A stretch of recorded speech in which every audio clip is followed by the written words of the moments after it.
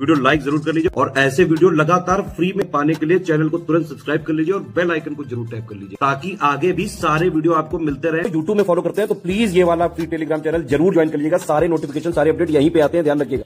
नमस्कार दोस्तों स्वागत है आप सभी का ऑनलाइन एग्ज़ाम प्रिपरेशन पर which is the part of study for civil services दोस्तों आधुनिक भारत के टॉप 500 एमसीक्यू देख रहे हैं। ये सीरीज़ स्टार्ट की थी जिसमें हम टॉपिक वाइज पढ़ रहे हैं एमसीक्यू और साथ ही साथ हम जो देख रहे हैं इंपॉर्टेंट क्वेश्चंस देख रहे हैं, उनका स्पष्टीकरण देख रहे हैं और पूरा डिटेल एनालिसिस भी करते हैं। तो इस सीरीज़ में हमने 11 नंबर का चैप्टर स्टार्ट किया था, जिसमें हम 1905 से लेकर 1905 से लेकर 1909 तक के घटनाक्रम देख रहे थे। तो इसके कुछ प्रश्न हमने सॉल्व भी किए थे। अब कुछ और प्रश्न बाकी है, जिनको आज हम देखेंगे तो चलिए स्टार्ट करते हैं। प्रश्न दिया गया है, निम्नलिखित घटनाओं को कालक्रम के अनुसार व्यवस्थित करना है। तो कुछ घटनाएँ दी गई हैं। रंपा विद्रोह, इटली पर इथोपिया की जीत, बोअर युद्ध, जापान की रूस पर जीत। अब इन घटनाओं को क्रम से लगाना है, ऐसे प्रश्न एग्ज़ाम अक्सर पूछता है। ठीक है? तो यहाँ पर क्या है? रंपा विद्रोह 1922 के आसपास का था। इटली पर इथोपिया की जीत अठारह सौ छियानवे के करीब हुई थी। तो यहाँ पर सबसे पुराना यही वाला हो जाएगा। इसके बाद बोअर का युद्ध हुआ था तो पहले दूसरा आ जाएगा, दूसरा इसमें ही दिया गया ऑप्शन डी में तो ऑप्शन डी सही उत्तर हो जाएगा। तो सबसे पहले इटली पर इथोपिया की जीत अठारह सौ छियानवे और इसके बाद बोअर युद्ध हुआ था। इसके बाद चौथा नंबर जापान की रूस पर जीत हुई और फिर रंपा विद्रोह। सबसे अंत में आ जाएगा रंपा विद्रोह। आइए इसका स्पष्टीकरण देखते हैं। तो इस प्रकार से अगर आपसे एक या दो बन जाएँगे तो आप क्लियर कर लेंगे। इसको एलिमिनेट करके ऑप्शन को एलिमिनेट करके आंसर निकाल लेंगे। इथोपिया की जो, इथोपिया हुआ था, इथोपिया की जीत तो यहाँ पर अठारह सौ छियानवे में हुआ था। बोअर युद्ध दिया गया है, ये अठारह सौ निन्यानवे से 1902 तक चला था। तो उसके बाद ही आ जाएगा। इसके द्वारा इतालवी सेना की हार और जहाँ ब्रिटिश ने उलट फेर किया तो ये यहाँ पर इसके बारे में दिया गया है, बोअर युद्ध के बारे में। इसके बाद रूस रूस पर जापान की जीत हुई थी 1905 में। थर्ड, फोर्थ वाला जो ऑप्शन दिया गया है तो 1905 आ जाएगा, क्योंकि चौथे नंबर पर, तीसरे नंबर पर आ जाएगा फोर्थ वाला ऑप्शन। जापान की जीत ने यूरोपीय अजेता के मिथकों को ध्वस्त कर दिया तो यहाँ पर रूस पर जापान की जीत हो गई थी। फिर 1922 में होता है रंपा विद्रोह, एक आदिवासी विद्रोह था जिसका नेतृत्व तो भारत पर, ब्रिटिश भारत की मद्रास प्रेसिडेंसी की गोदावरी एजेंसी में अल्लूरी सीताराम राजू ने किया। तो एग्ज़ाम में ये प्रश्न भी पूछा गया है कि रंपा विद्रोह का जो नेतृत्व है वो कौन वो कौन थे? नेतृत्वकर्ता कौन थे? नेतृत्व किसने किया था? तो इसका नेतृत्व किया था सीताराम राजू ने, अल्लूरी सीताराम राजू ने, जो कि मद्रास प्रेसिडेंसी की गोदावरी एजेंसी में थे। इनके द्वारा किया गया था 1922 का विद्रोह था, ये चीज़ याद रखें। अगस्त 1922 में शुरू हुआ और मई 1924 में राजू को पकड़ने और मारने तक ये चलता रहा। ठीक है तो लगभग दो साल ये चला। इस चीज़ को याद रखना है। आइए आगे बढ़ते हैं, अगला प्रश्न देखते हैं। अगला प्रश्न दिया गया है, सातवें नंबर का प्रश्न है, भारत, निम्नलिखित में से कौन भारत की स्वतंत्रता संग्राम के दौरान क्रांतिकारी आंदोलनों की वैध आलोचना नहीं है? कुछ आलोचनाएँ दी गई हैं, बताना है कौन सी वैध नहीं है। पहला दिया गया है कथन वे भ्रम में थे कि कुछ व्यक्तियों को मारकर वे देश को मुक्त कर सकते हैं। दूसरा दिया है उन्होंने जनता को एकजुट करने के लिए काम किया और बड़े समूहों में काम किया। तीसरा दिया गया है, वे महसूस नहीं कर सकते थे कि सभी हिंसा के लिए सक्षम नहीं हैं। तो इनमें से बताना है कि कौन सा कोड सही है, केवल दूसरा, पहला और दूसरा, पहला और तीसरा और तीसरा।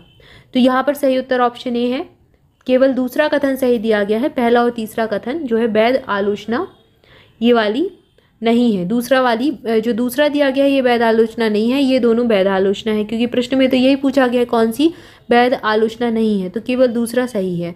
ठीक है, लेकिन अगर आपसे पूछ लें कौन सी वैध आलोचना है तो पहला और तीसरा हो जाएगा आंसर। तो प्रश्न को थोड़ा सा ध्यान से पढ़ना है, यहाँ पर भी नहीं पूछ सकते हैं और यहाँ पर भी। कई बार यहाँ पर नहीं करके पूछ लेते, कौन सा सही नहीं है कोड। ठीक है ना तो दोनों तरह से प्रश्न को ज़्यादा ध्यान से देखें और उस प्रकार से आप फिर अपना आंसर करें। तो यहाँ पर सही उत्तर हो जाएगा ऑप्शन है केवल दो। उन्होंने जनता को एकजुट करने के लिए काम किया और बड़े समूहों में काम किया। तो ऐसा नहीं था, जब स्वतंत्रता संग्राम चल रहा था तो बड़े समूह नहीं थे छोटे छोटे समूहों में काम हो रहा था। जनता को एकजुट तो कर रहे थे, लेकिन छोटे छोटे समूह बने हुए थे। आइए इसका स्पष्टीकरण देखते हैं। भारतीय स्वतंत्रता के लिए क्रांतिकारी आंदोलन भारतीय स्वतंत्रता आंदोलन का हिस्सा था, जिसमें भूमिगत क्रांतिकारी गुटों की कार्यवाही शामिल थी। कई सारे लोग भूमिगत होकर भी काम कर रहे थे, क्रांतिकारी गतिविधियाँ कर रहे थे। शासक अंग्रेज़ों के खिलाफ सशस्त्र क्रांति में विश्वास करने वाले समूह इस श्रेणी में आते थे। राजनीतिक समूह मुख्य रूप से बंगाल, महाराष्ट्र, बिहार, संयुक्त प्रांत और पंजाब में केंद्रित थे। कई समूह पूरे भारत में बिखरे हुए थे। इस प्रकार एक प्रतिबंधित और असंगठित अपील थी। तो अब पूरे भारत में बिखरे हुए थे अलग अलग ग्रुप थे तो संगठन तो था नहीं, असंगठित थे। तो इनमें और कोई संचार का कुछ ऐसा माध्यम भी नहीं था उस समय की सारी चीज़ें, सारी गतिविधियाँ। एक समय पर की जा सके, ताकि उसका प्रभाव ज़्यादा पड़े। तो असंगठित असंगठित समूह थे, ये चीज़ थी वहाँ पर। कथन एक और तीन रिवॉल्यूशनरी आंदोलन की वैध आलोचना है। वे हिंसा को स्वतंत्रता प्राप्त करने का साधन मानते थे। कथन दूसरा गलत दिया गया है, क्योंकि वे लोगों के एक बड़े जनसमूह को एकजुट करने में असमर्थ थे। क्लियर है? तो यही चीज़ आपको प्रश्न में भी बताई गई है। आई होप आपको सारे पॉइंट क्लियर हो गए होंगे। आइए आगे बढ़ते हैं, अगला प्रश्न देखते हैं। अगला प्रश्न दिया गया है, निम्नलिखित में से कौन उग्रवादी राष्ट्रवाद के विकास के कारण थे? आपने पहले पढ़ा था जो उग्रवादी थे एक एक उदारवादी थे तो आप पहले प्रीवियस प्रश्न में उदारवादी अवधारणा पढ़ चुके हैं। अब यहाँ से प्रश्न पढ़ रहे हैं उग्रवादी राष्ट्रवाद के बारे में। तो उग्रवादी राष्ट्रवाद के बारे में बताना है कि कौन सा जो है इसके विकास के कारण थे। पहला कथन दिया गया है, एक प्रशिक्षित नेतृत्व का उद्भव। दूसरा कथन दिया गया है, उपलब्धियों के साथ साथ मॉडरेट के तरीकों से असंतोष। तीसरा कथन दिया गया है, शिक्षा के विकास का प्रभाव और जागरूकता और बेरोजगारी में वृद्धि।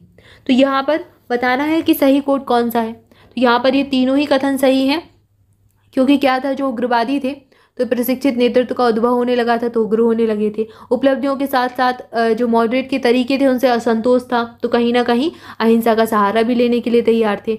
शिक्षा का विकास हो रहा था तो शिक्षा का प्रभाव पड़ा। शिक्षित हो रहे थे ये लोग तो जागरूकता फैल रही थी। शिक्षा तो क्या करती है? जागरूकता तो लाती ही है। और साथ ही साथ क्या हो रहा था? अब जब जागरूकता थी और इन्होंने देखा कि जो अंग्रेज़ हैं, वो अपने जो सेना है, कहीं पर भी जो नियुक्तियाँ हैं, वो किसको देते हैं? ज़्यादातर अंग्रेज़ों को ही देखते हैं। धन भी हमारे यहाँ का प्रयोग कर रहे हैं, नौकरी भी उन्हीं को दे रहे हैं। तो भारतीयों का तो कुछ भी लाभ नहीं हो रहा है और बेरोजगारी में वृद्धि होती जा रही है। ठीक है ना? तो ये सारी चीज़ें देखने को मिल रही थी, जो कि उग्रवादी राष्ट्रवाद के विकास के कारण बनी। यहाँ पर सही उत्तर ऑप्शन डी हो जाएगा। आइए स्पष्टीकरण देखते हैं। यह एहसास कि ब्रिटिश शासन की वास्तविक प्रकृति शोषक थी और यह कि ब्रिटिश भारत सरकार ज़्यादा जीतने के बजाय जो अस्तित्व में थी, उसे भी छीन रही थी। ठीक है ना? तो ये इसका एक कारण था। आत्मविश्वास और आत्मसम्मान की वृद्धि होने लगी थी। जब लोग शिक्षित हुए तो उनमें आत्मविश्वास आया, उनमें आत्मसम्मान की भावना आई कि देखो, हम भी इतने ही शिक्षित हैं, हमको भी यही वाला काम मिलना चाहिए। तो ये सारी चीज़ें आई। शिक्षा के विकास का प्रभाव जागरूकता और बेरोजगारी में वृद्धि, ये भी कारण था। अब जब लोग शिक्षित हो गए और उन्होंने बराबर की शिक्षा ग्रहण कर ली तो उनका मानना था कि जब वो उस चीज़ के लिए एलिजिबल है तो उनको बड़े पद मिलने चाहिए। क्या होता था, जो भारतीय होते थे, उनको बिल्कुल छोटे पद दे देते थे। ठीक है, जो बिल्कुल चतुर्थ श्रेणी के पद होते हैं, वो दे देते थे। और प्रथम श्रेणी के पदों पर भारतीयों की नियुक्ति नहीं करते थे। उन पर किनको नियुक्त करते थे? जो अंग्रेज़ शासक होते थे, जो वहाँ से बुलाते थे, वहीं अपने यहाँ से उनको कर देते थे। तो जब लोग शिक्षित हुए, उनमें जागरूकता फैली तो उन्हें ये समझ में आया। तो इन सारी चीज़ों का क्या हुआ फिर? उनमें राष्ट्रवाद की भावना का विकास भी हुआ। अंतर्राष्ट्रीय प्रभाव और घटनाएँ जिन्होंने श्वेत, यूरोपीय वर्चस्व के मिथक मिथक को ध्वस्त कर दिया, इनमें शामिल थे जापान का उदय, एक एशियाई देश, एक औद्योगिक शक्ति के रूप में। तो बाहर के देशों से भी प्रेरणा ली। इटली पर इवीसीनिया, यानी कि इथोपिया की जीत। ठीक है, उन्होंने देखा कि छोटे छोटे राज्य क्या है? अपने आप को स्वतंत्र कर रहे हैं। छोटे छोटे राज्यों की भी क्या है? जीत हो रही है। किसके आधार पर? संगठन के आधार पर, राष्ट्रवाद के आधार पर। उनकी इच्छा के आधार पर उनको स्वतंत्र होना है, स्वतंत्रता चाहिए। तो ये सारी चीज़ें जब शिक्षा आई, जागरूक हुए, दूसरे देशों को पहचाना, जाना तो ये सारी भावनाएँ और फिर उनमें ये भी एक भावना जागृत हुई कि हम भी अपने राष्ट्र को स्वतंत्र कर सकते हैं। भले हम छोटे हैं, फिर भी हम भी अपने आप को संगठित करके, राष्ट्रवाद की भावना का प्रचार करके, हम भी अपने आप को स्वतंत्र कर सकते हैं, मुक्त कर सकते हैं। ये सारी चीज़ें फिर देखने को मिली। तो इन सारी जो विदेशों में जो छोटे छोटे देश थे, जो स्वतंत्र हो रहे थे, उनका भी प्रभाव पड़ा, वहाँ की क्रांतियों का प्रभाव पड़ा। बोअर वार्ड्स अठारह सौ निन्यानवे से उन्नीस सौ दो, जिसमें अंग्रेज़ों को पलटवार का सामना करना पड़ा। रूस पर जापान की जीत हुई। रूस कितना बड़ा देश उस पर जापान की जीत हो गई उन्नीस सौ पाँच में। बढ़ते पश्चिमीकरण की प्रतिक्रिया का प्रभाव पड़ा। उपलब्धियों के साथ साथ मॉडरेट के तरीकों से असंतोष भी था। कर्जन की प्रतिक्रियात्मक नीतियाँ, जैसे कलकत्ता निगम अधिनियम आया अठारह सौ निन्यानवे में। आधिकारिक राज अधिनियम आ गया 1904 में। भारतीय विश्वविद्यालय अधिनियम आया 1904 में और बंगाल का विभाजन। ये तो सबसे बड़ा कारण था उग्रवादियों के लिए। ठीक है, बंगाल का विभाजन हुआ 1905 में तो लोगों में काफ़ी ज़्यादा असंतोष फैला। विचार के एक उग्रवादी संप्रदाय का अस्तित्व जगह और एक प्रशिक्षित नेतृत्व का उद्भव। तो ये सारे कारण हैं उग्रवादी राष्ट्रवाद के विकास के। क्लियर है? आई होप आपको सारी चीज़ें क्लियर होंगी। इसमें से कुछ भी आ जाएगा तो आपसे बन जाएगा। कैसा भी प्रश्न पूछ लें आई होप आपसे अब बनना चाहिए।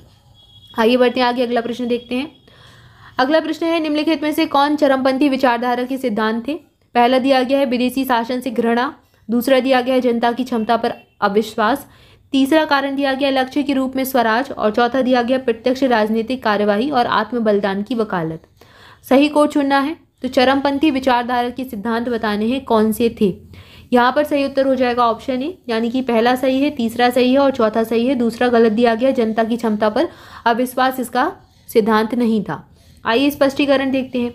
चरमपंथी विचारधारा, विदेशी शासन से घृणा, जनता की क्षमता पर विश्वास, इसलिए दूसरा कथन गलत है। जनता की क्षमता पर विश्वास था, इसलिए चरमपंथी विचारधारा जन्म ले रही थी। लक्ष्य के रूप में स्वराज, लक्ष्य क्या था? स्वराज पाना है, हमें अपना खुद का राज पाना है।